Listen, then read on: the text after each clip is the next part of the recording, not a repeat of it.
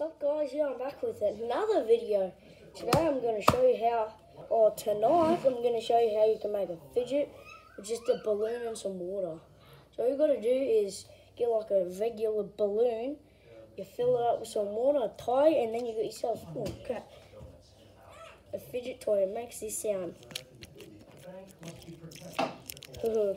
but yeah, that's how you make a fidget, part one.